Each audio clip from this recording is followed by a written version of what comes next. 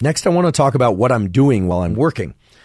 A couple of things for optimizing workspace that are grounded in neuroscience and physiology. I've talked before about the fact that when our eyes are directed upward, it creates a state of heightened alertness. And this has a relationship to the brainstem neurons that create alertness and their control over the muscles of the eye and, believe it or not, the eyelids.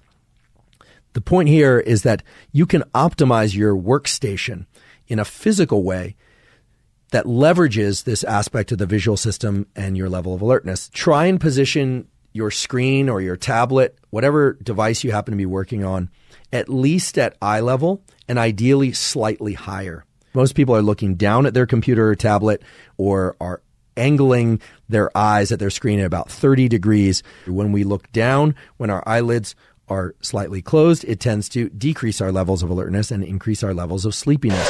So we're now at the description of my day and these protocols in which I would do a 90 minute bout of work.